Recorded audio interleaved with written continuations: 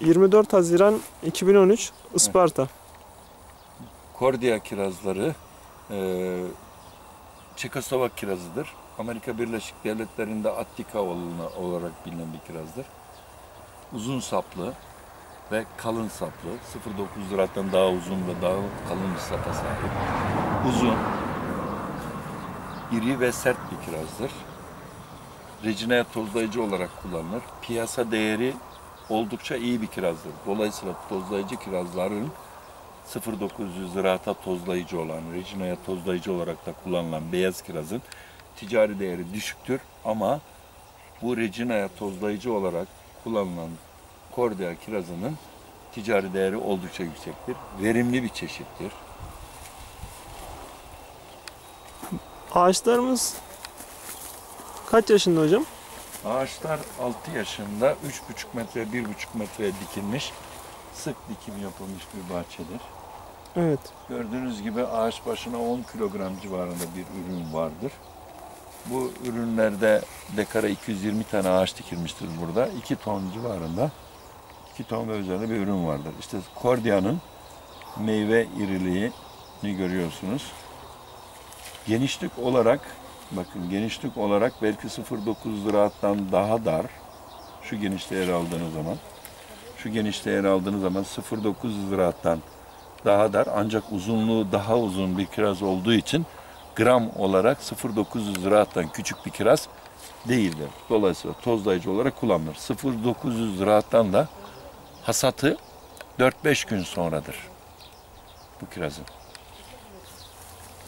Yine e, ana ürün olarak şurada Regina'yı görüyorsunuz. Ana ürün olarak Regina'yı görüyorsunuz. Regina 0900 ziraat kirazından 10 gün sonra hasat edilen, sapı uzun, kalın, iri, çok sert bir kirazdır. Kesinlikle 0900 ziraat kirazından daha sert kirazdır. Ve en önemli özelliklerinden biri de çatlamaya, yağmurdan dolayı çatlamaya dayanıklı bir kirazdır. Özellikle 2 yıl önce 2011 yılında Türkiye genelinde hasat dönemindeki yapılan olan yağışlar meyvelerde çatlamaya meydana getirmiştir. 0.9 ziraat çeşidinde %60 %70 çatlarken Regina kiraz çeşidi ancak %3 ile %5 arasında bir çatlama göstermiştir. Daha verimlidir 0.9 ziraattan. Sapı uzun, iri, sert ve aroması oldukça iyi bir kirazdır. Bu kirazın bakın görüyorsunuz işte tam bodur bir anaç üzerinde yaklaşık olarak boyu 3,5-4 metre. Ee, ağaç verimi de 8-10 kilogram arasında bir verimdir. Daha bu meyvenin hasatına yaklaşık olarak bir 5-6 gün var.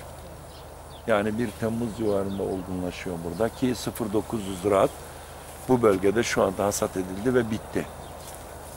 Yine e, Regina çeşidinin tozlayıcısı biraz evvel gösterdiğimiz Cordia çeşididir. E, tozlayıcı olarak Regina'yı yüzde e, Regina'ya Cordia'yı tozlayıcı olarak yüzde on iki buçuk, yüzde on beş civarında koyabiliriz. Ancak Cordia'da çok iyi, verimli bir çeşit olması nedeniyle kesinlikle Cordia'yı e, yüzde on beş, yüzde yirmi civarında koyabiliriz bir bahçede. Şurada bir kiraz daha görüyoruz. Ee, Regina'nın tozlayıcısı. Regina'nın tozlayıcısını görüyoruz. Regina'nın tozlayıcısı, diğer bir tozlayıcısı Karina'dır. Regina'nın kız kardeşidir. Regina'nın kız kardeşidir. Ancak e, Karina'yı gördüğünüz gibi kırmızı bir çeşittir, verimli bir çeşittir. Ancak asla bir e, şey kalitesine değildir. Cordia ve Regina kalitesi değildir tozlayıcı olarak bunu dikmeliyiz.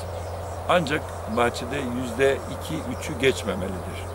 Demek ki Regina'yı dikerken Regina'yı yüzde seksen, Cordia'yı yüzde on beş, bu e, Karina'yı yüzde iki, üç civarında tutarsak tam verimli bir bahçe kurmuş oluruz. Ancak e, Karina'yı dikmesek de Cordia Regina'yı tozlayabilir. Bakın şuradan Ali Bey şu tarafa geç. Bakın Cordia'nın genel görüntüsü. Şöyle aldığım zaman. Cordia çeşidi yine. Çok sert, aroması güzel bir kiraz ve ihracatçının beğendiği bir kiraz. Ki Amerikalıların Bing diye bir kiraz vardır. Nasıl Türklerin 09 ziraat kirazı en önemli ihracat kirazı ve dünyada en önemli ihracat kirazı ise Bing de Amerikalıların ve dünyanın en önemli ihracat kirazıdır. Bing, Amerikalılar Bing kraldır derler. Bing is the king İngilizce yani Bing kraldır derler.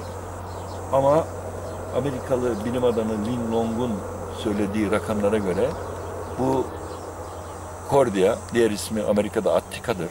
Attica veya Cordia Bing'den daha iri ve serttir diyor.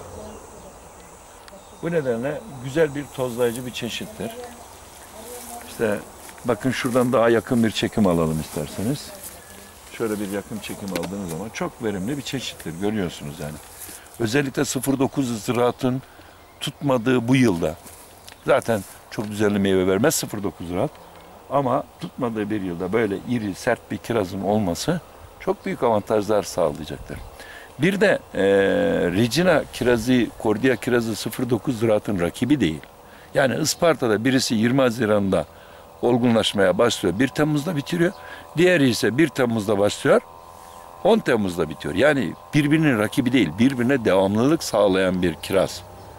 O nedenle Türkiye'de yeni dikilen bahçelerde mutlaka Regina, Cordia ve 09 ziraat üçlüsünün olması gerekiyor.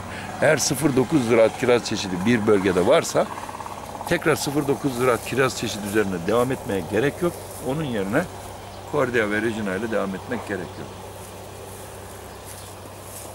Bahçe yaklaşık 7 yaşında bir kiraz. Bahçesi.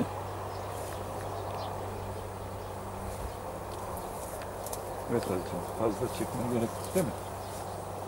Bak görüyorsunuz şöyle çek işte. Yani Regina'nın ne kadar daha olgunlaşmadı bakın renginden görüyorsunuz. Bu olgunlaşacak daha bordo rengine dönüşecek. Yani bunun daha 5-6 günü var. Çok güzel bir kiraz. Evet.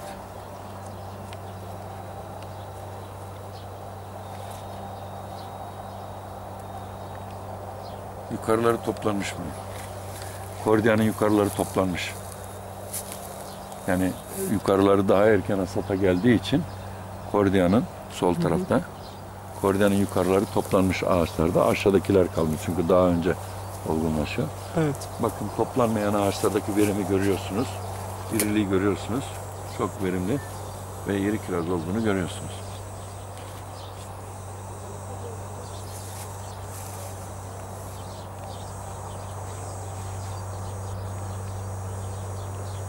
Buraya. Tamam.